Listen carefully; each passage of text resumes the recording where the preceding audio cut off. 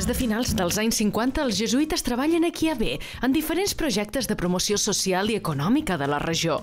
Manolo Fortuny és un mallorquí que ha dedicat la seva vida en aquesta zona del xat. Les germanes Oblates i la seva obra, el Casal Petit, s'encarreguen de donar suport a dones en contextos de prostitució. Darrerament han ofert algunes dades que criden a la preocupació. Càritas Mallorca ha organitzat una marxa solidària a favor dels drets dels migrants i refugiats, una iniciativa ben interessant a la qual hem assistit. I acabam el programa d'avui comentant la posada en marxa d'un nou projecte d'evangelització dels col·legis diocesans. Això és tot per avui. Comença Mosaic. Benvinguts. En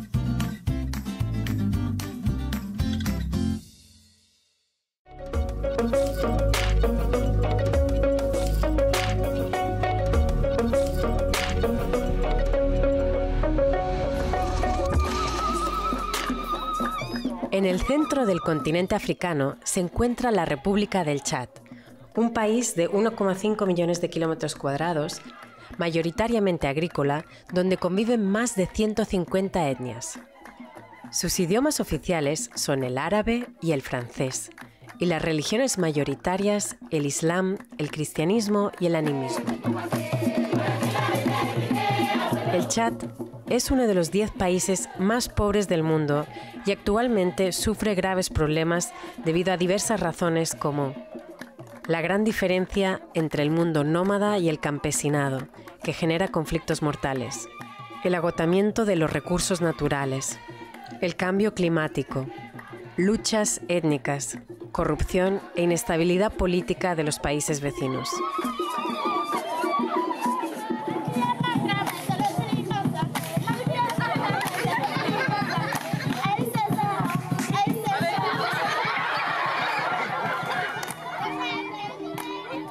Al sur del desierto del Sáhara, en el departamento de Lac Iro, cuya extensión es de 17.000 kilómetros cuadrados, está Kiabe, una ciudad de 18.000 habitantes.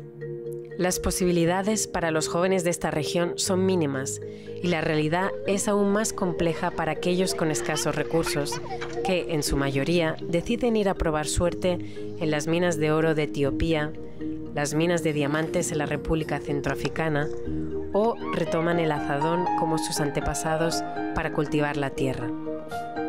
Aquellos que poseen más recursos deben trasladarse a Yamena para estudiar una carrera y dedicarse a la enseñanza.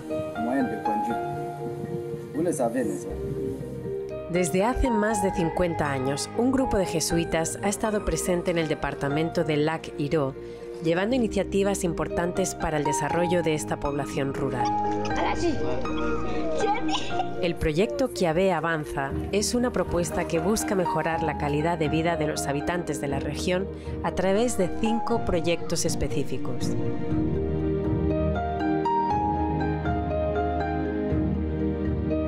A 7 kilómetros de Kiabe se encuentra el Centro de Formación de Tatemoe, un proyecto fundado hace 22 años, el cual acoge en sus instalaciones a familias campesinas que provienen de sectores muy alejados entre sí.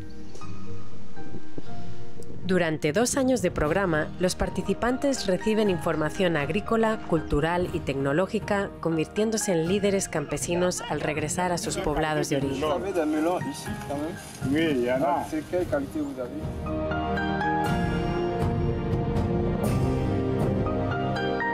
La Escuela de Maestros Carpinteros Compagnon Menuisier fue creada en el año 1989 por Ignacio Ancizu.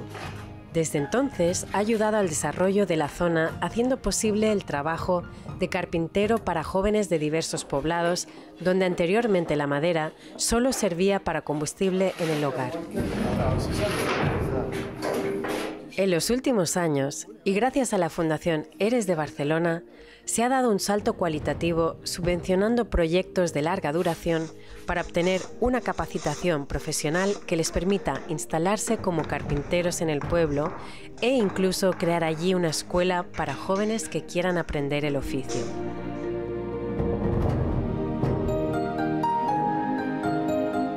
Durante 10 días, en las instalaciones de la parroquia de Quiabé, se realiza el campo de formación y sensibilización contra la mutilación genital femenina.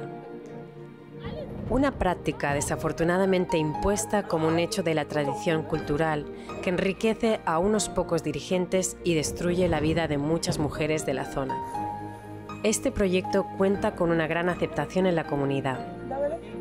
En nuestro último taller asistieron 150 chicas y 30 madrinas. Este proyecto está actualmente subvencionado por el Fondo para la Mujer de Valencia.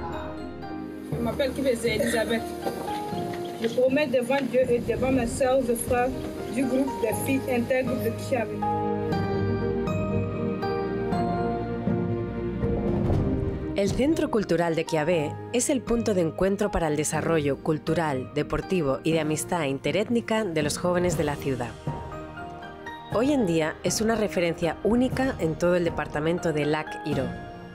Las actividades son muy diversas y allí se da prioridad al desarrollo cultural de los jóvenes con conferencias, debates y abriendo las puertas de una biblioteca con sala de lectura nocturna.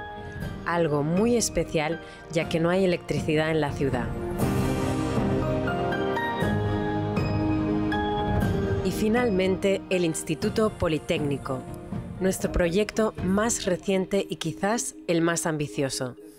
Un centro inaugurado en 2018 donde cientos de jóvenes podrán cursar un programa de formación de siete años, cuatro para la secundaria y tres para la especialización en una rama profesional. Su construcción ha sido posible gracias a la Fundación Barceló de Mallorca y ahora trabajamos en la búsqueda de recursos para su mantenimiento. Hoy ya son 87 alumnos los que se benefician de esta importante iniciativa. En el próximo curso se admitirán 100 alumnos más y así sucesivamente cada año.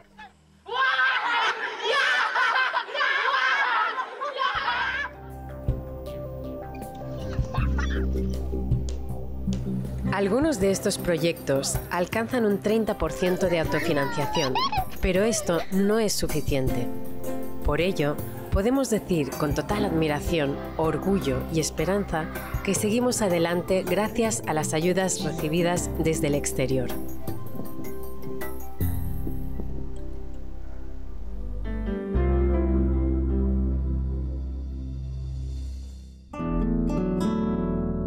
Xarxa d'atenció directa a persones que exerceixen la prostitució ha fet públic un informe sobre persones que exerceixen la prostitució durant el 2018.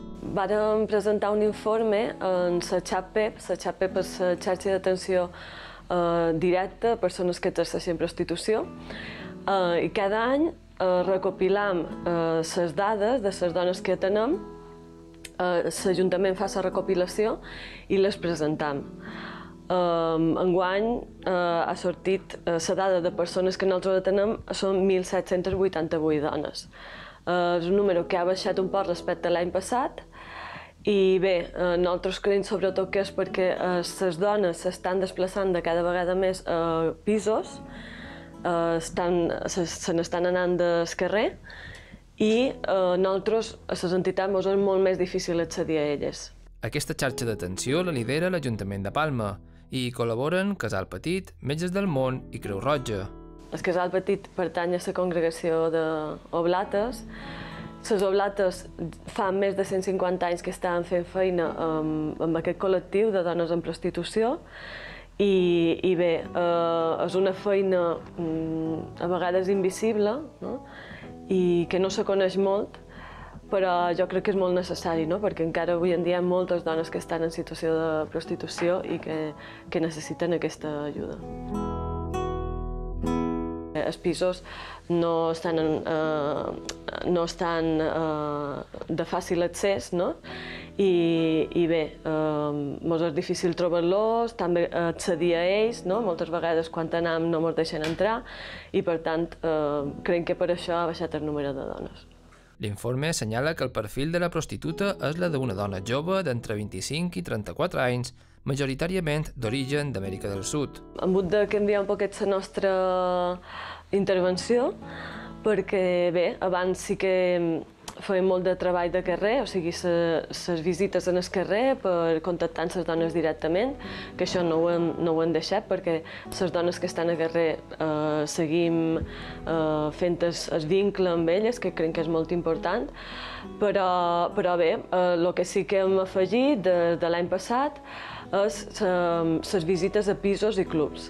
Uh, juntament amb Creu Roja i Metges del Món, que són dues entitats que ja estaven fent sortides des de feia temps, i, i bé, ara ens hem uh, juntat tot tres, les tres entitats, i per fer sortides conjuntes uh, a pisos i clubs. Lo, lo qual ha fet que, que puguem accedir a, altre, a un altre perfil de dones i, i que vagin arribant en el casal un altre perfil de dones, sobretot, per exemple, de Llatinoamèrica, eh, on estan arribant bastantes. Sí. Casal Petit treballa fonamentalment amb voluntaris, que a més de realitzar cursos de formació, fan una tasca diària de facilitar informació a les dones en el seu lloc de feina. Qualsevol persona pot ser voluntària, qualsevol persona que tingui ganes d'ajudar, que tingui aquesta sensibilitat, no? I, I bé, els voluntaris aquí el que fan sobretot és, és eh, formació, classes d'espanyol, classes d'informàtica, després també eh, ajuden amb, amb els tallers, tallers prelaborals, i eh, fan acoïda, fan treball de carrer, fan diferents accions eh, els voluntaris. I també una altra forma d'ajudar és econòmicament. Tenim, eh, perquè això també ens ajuda també a fer la nostra feina. Un cop que les dones accepten l'ajuda, s'atraquen al casal petit. El primer contacte amb la dona és sempre en el, en el lloc d'exercici, ja sigui en el carrer, al pis o al club. Um, en aquest moment és quan contactàvem amb ella, li explicàvem el recurs i, i això necessita un temps, no? necessita un temps de crear un vincle amb ella fins que ella agafi confiança i uh, arribi al casal. També les dones poden arribar derivades a través d'altres entitats o bé eh, a través de recomanació, entre, recomanacions entre elles, no? entre elles se van dient i, i venen.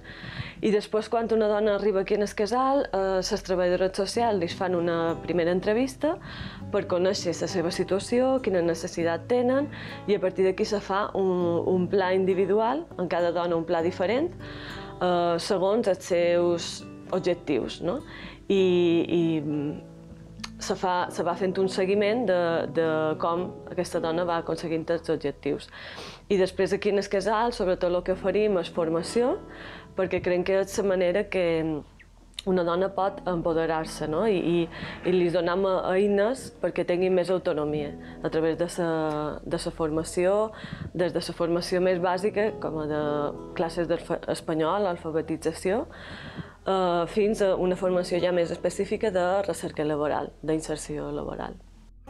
Gràcies a les germanes Oblates, Casal Petit treballa per la sensibilització i la transformació social, denunciant situacions d'injustícia social que afecten a les dones.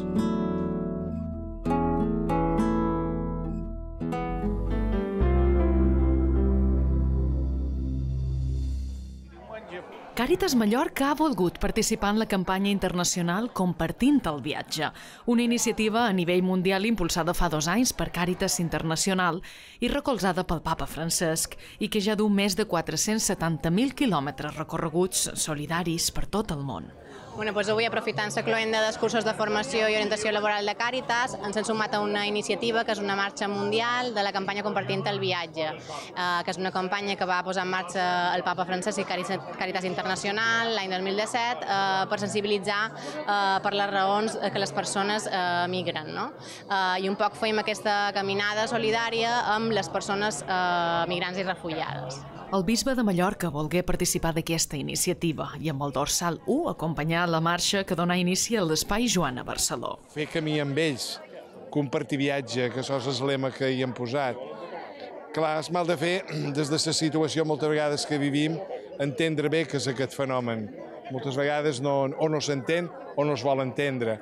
Però jo crec que és molt important tenir una sensibilitat molt grossa de cara a una gent que de fugir d'allà on viu, perquè és impossible viure-hi per problemes de fam, de violència, d'exclusió, determinades, jo diria, injustícies concretes que fan que tant a nivell de família, a nivell de grups ètnics, de nivell de, de, de classes socials, es troben amb, una, amb unes deficiències molt grans. Eh?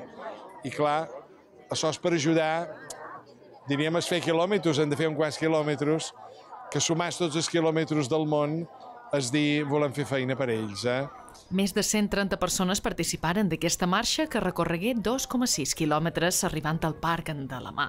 Els participants se'ls ha identificat amb un dorsal i se'ls ha fet entrega d'una bossa amb aigua. Uh, va començar pues, amb la mateixa campanya de Compartint del Viatge. És una de les iniciatives d'aquesta campanya, no?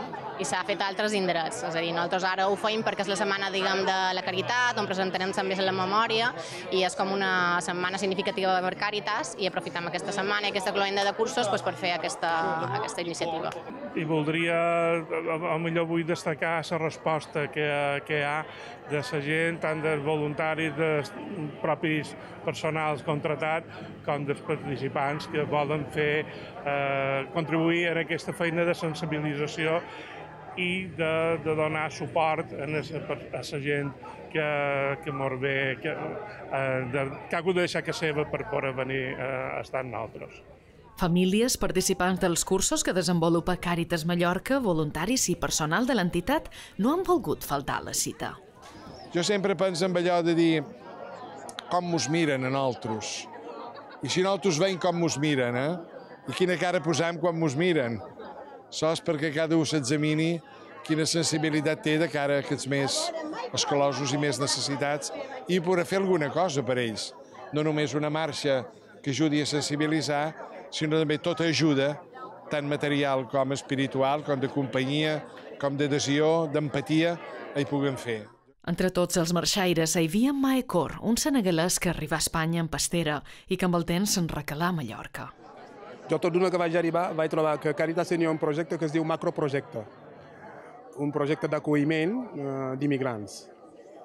I vaig tenir la sort eh, que me van acollir i des de llavors jo, jo, jo me vaig oferir per fer d'interpret perquè en aquell moment molts dels meus paisans arribaven i no en tenien la llengua i jo me vaig oferir per ajudar perquè puguin entendre aquesta gent que venia. I és així que me vaig encerrir. Avui faig feina a un projecte de Caritas Mallorca que es diu uh, Immigració i Refugi. I faig feina com tècnic i el que faig és acompanyaments i xerrades uh, damunt el tema de la convivència.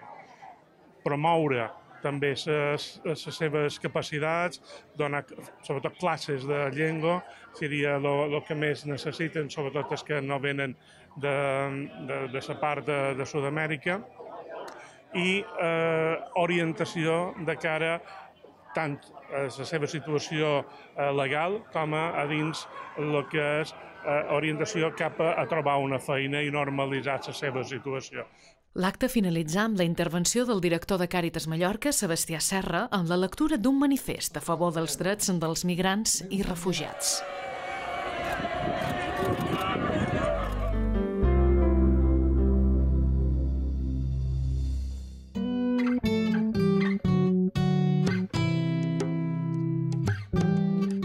Les escoles diocesanes han elaborat un nou pla d'evangelització que posaran en pràctica a partir del curs vinent des del Gabinet de Coordinació de Pastoral de les Escoles Diocesanes realitzaran aquesta implantació, un nou pla de pastoral i de religió. Bé, aquest nou projecte que hem preparat al Gabinet de Pastoral durant aquest curs li hem posat el nom de Talita Kumi, que són unes paraules que Jesús va dir a la filla d'en Jairo, quan la va ressuscitar, li va dir a Lota, a tu t'ho dic, aixeca't. No? I és una manera que volem nosaltres mm, donar aquest missatge, ens posam en marxa i, i anem a canviar tot, tot el que teníem una mica, no?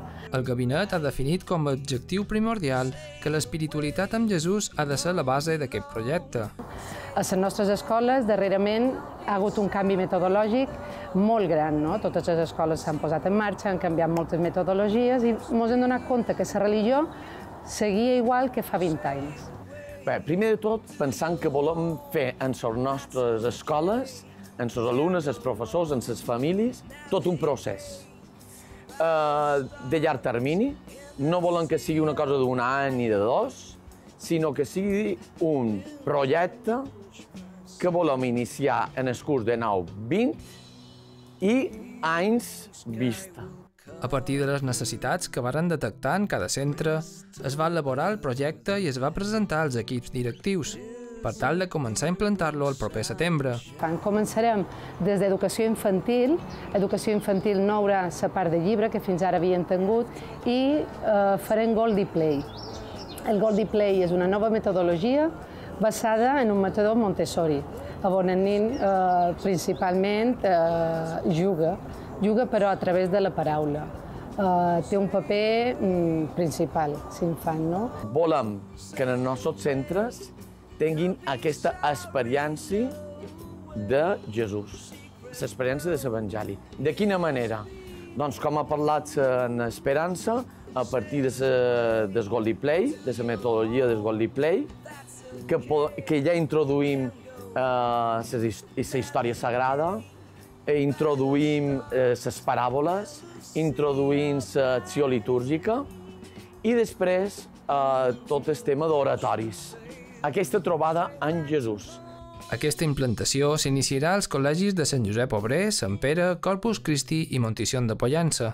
Aleshores no, no mos posarem a fer oratoris a tot i ple a, a totes les escoles, sinó que se farà molt processual, molt acompanyant i sempre amb una altra persona que sigui expert eh, en aquest tema.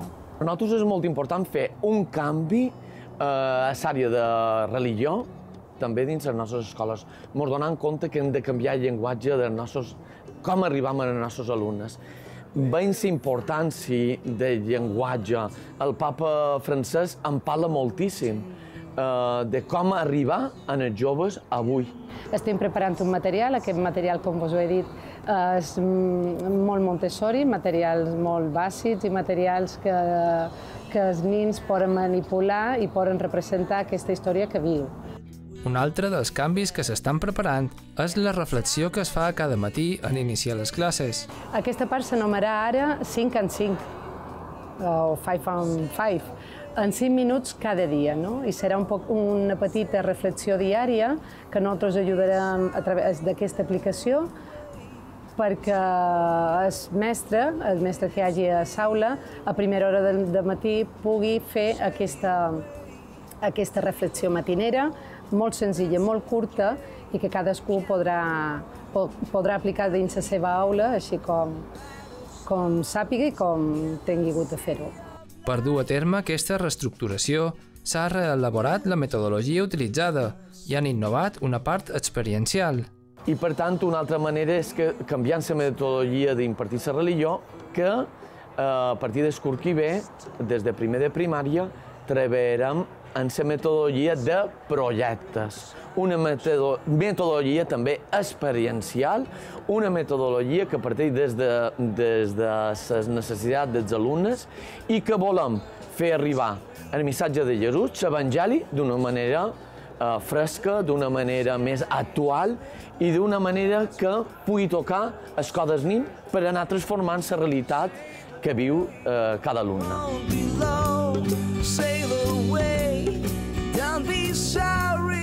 Volen que tot això se pugui complementar en el pla de pastoral que desenvoluparem eh, durant el curs de 9 i 20 en tots els diferents equips de pastoral de tots els centres. En quins àmbits? Doncs treballant en, en el tema de convivències, treballar el tema d'interioritat, és treballar els 5 minuts diaris de pregària de silenci per iniciar el dia, es treballa amb les famílies, que trobam que és un camp que volem treballar molt a fons, perquè pensam que és a on hem de treballar de valent, perquè també se pugui treballar també l'experiència en Jesús. Un projecte que vol transformar l'espiritualitat de les escoles diocesanes.